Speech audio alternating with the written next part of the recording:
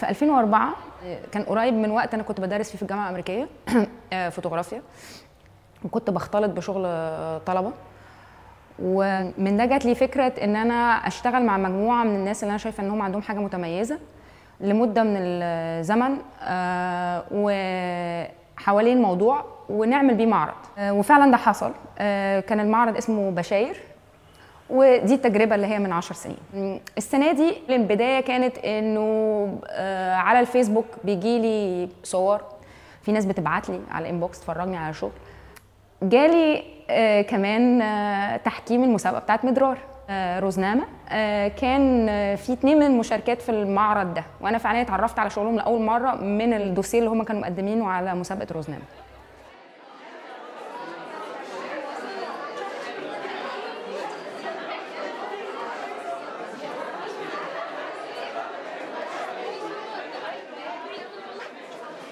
في اعتقادي الحاجة اللي أنا شفتها في الأول واللي استمرت معايا لغاية آخر لحظة إنه الخمسة دول مختلفين عن بعض تماما. آه لسبب ما من يعني ما كانش ذهني قوي آه كان عندي إحساس إنه إنه ده كويس آه وهيبقى مفيد. آه فعليا بعد ثلاث شهور ونص لما خلصوا آه النتيجة واضحة إن هم فعلا مختلفين تماما عن بعض. ده في حد ذاته مثير بس في نفس الوقت بيعمل بيخلي إنه أنا ما بشتغلش بروجرام ثابت مع الخمسة.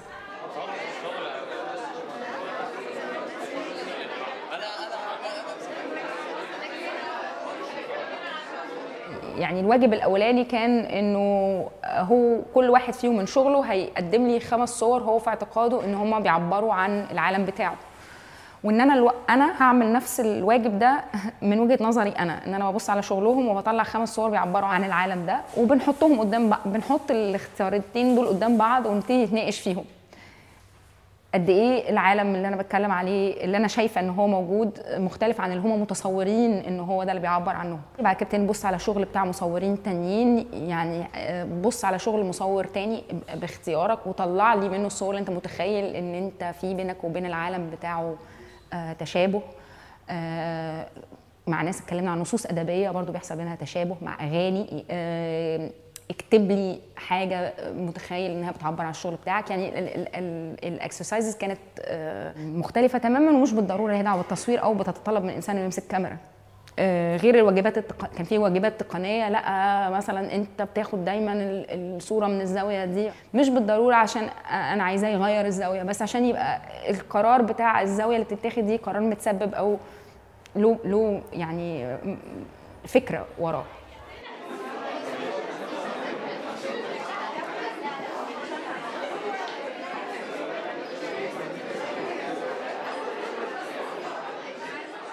فاكرة كويس جدا إنه في مرحلة من المرحله متأخرة يعني كان فاضل لنا مثلا أسبوعين أو نفتح بقى في سؤال اللي أنا طرحته عليهم كلهم هل بعتوا شغل قبل كده؟ عشان أنتوا لو بعتوا شغل قبل كده لما هنيجي نتمن الشغل بتاعكم محتاجين نبقى حاطين السعر اللي أنتوا بعتوا بيه ده في الاعتبار. فقراراتك المرتبطة بالبيع يعني هتبقى بتعمل الطبعة بتاعتك كام نسخة؟ كلها قرارات في اعتقادي كانت مهمة إن هم يتعرضوا ليها لأول مرة. مكانهم هم بالنسبة لأسعار الفوتوغرافيا الثانية متوفرة في السوق أو زمايل أكبر أو بأكثر خبرة. دي كانت برضو جزء من الاعتبارات اللي إحنا خدناها وإحنا بنسعر الشغل.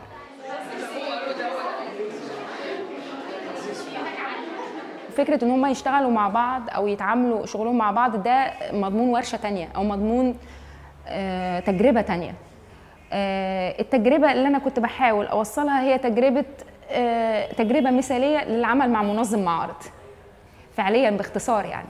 يعني في اعتقادي لو أخدوا حاجة هياخدوا اللي لما يبقى منظم معارض بيبقى شخص قد كده مهتم بيبقى تبقى الدنيا شكلها عامل كده. يعني فعليا كتبت نص عن شغلهم بعد شهر من المعرض عشان أول بيان صحفي. وبعد كده رجعت كتبت نص تاني أو قبل ما نفتح بأسبوع عشان كان في اعتقادي إنه النص اللي أنا كتبته من شهر ممكن دلوقتي أزود عليه. آه ودي حاجة برضو بنفتقدها جامد جدا إنه منسق المعارض يكون بيكتب عن الشغل في اعتقادي دي أهم حاجة بيعملها منسق أي معرض